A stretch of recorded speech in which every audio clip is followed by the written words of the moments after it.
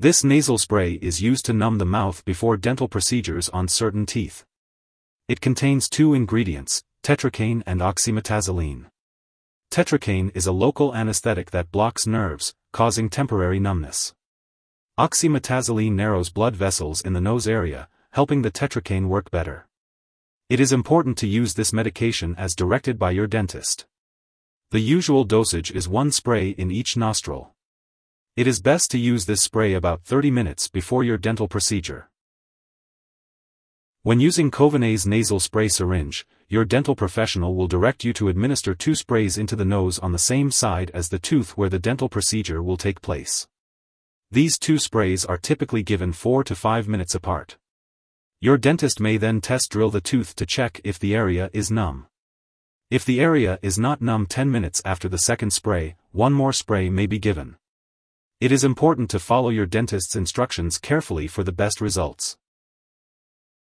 If you experience a runny or stuffy nose, nasal discomfort or pain, mild nosebleeds, watery eyes, numb or sore throat, headache, dizziness, or a change in sense of taste, it may be a side effect of Kovanaze nasal spray syringe. If these effects persist or worsen, it's important to inform your doctor or pharmacist. Remember, your dentist has prescribed this medication because they believe the benefits outweigh the potential side effects. However, it's still important to be aware of any serious side effects, such as trouble swallowing or nasal ulcers, and to notify your doctor or dentist immediately if you experience these. In rare cases, a serious allergic reaction may occur.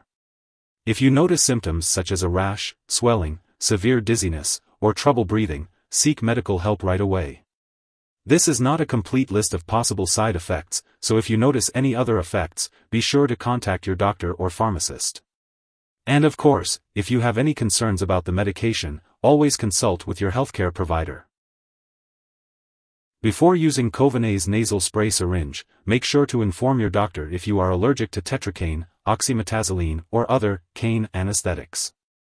Also, let them know of any other allergies you may have. This product may contain inactive ingredients that can cause allergic reactions. Before using this medication, inform your doctor or pharmacist of your medical history, especially if you have high blood pressure, thyroid disease, frequent nosebleeds, or a certain blood disorder called methemoglobinemia. This medication may cause dizziness, and alcohol or marijuana can intensify this effect. Avoid driving or using machinery until you can do so safely. Limit alcoholic beverages and talk to your doctor if you are using marijuana, cannabis. Inform your doctor or dentist about all the products you use, including prescription drugs, non-prescription drugs, and herbal products, before having surgery. If you are pregnant, only use this medication when clearly needed, and discuss the risks and benefits with your doctor. It is unknown if this product passes into breast milk, so consult your doctor before breastfeeding. When using Kovanaze nasal spray syringe, it's important to be aware of potential drug interactions. These interactions can affect how your medications work and may increase your risk for serious side effects. It's crucial to keep a list of all the products you use, including prescription and non-prescription drugs, as well as herbal products, and share it with your doctor and pharmacist. Do not start, stop, or change the dosage of any medicines without your doctor's approval.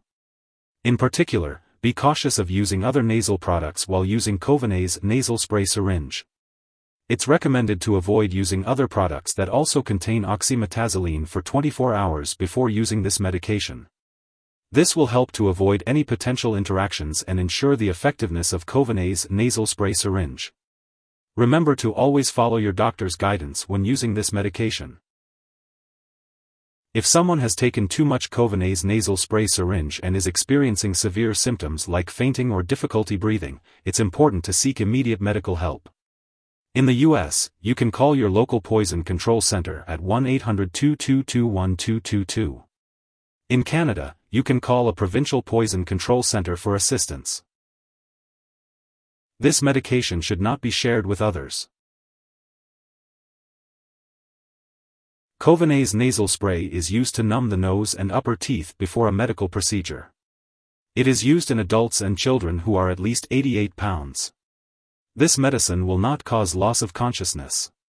Kovanaze nasal spray is typically used just before a medical procedure. Follow your doctor's dosing instructions very carefully. The usual dose is 4 sprays into each nostril, for a total of 8 sprays.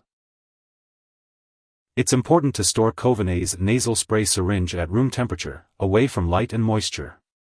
Make sure to keep it out of the bathroom and away from children and pets. When it comes to discarding the product, do not flush it down the toilet or pour it into a drain unless instructed to do so. Instead, properly discard it when it is expired or no longer needed. You can consult your pharmacist or local waste disposal company for guidance on how to do this. If you need more help, call your doctor for medical advice. In the US, you call FDA 1-800-FDA-1088. In Canada, you may call Health Canada 1-866-234-2345. Wishing you good health. Thanks for watching.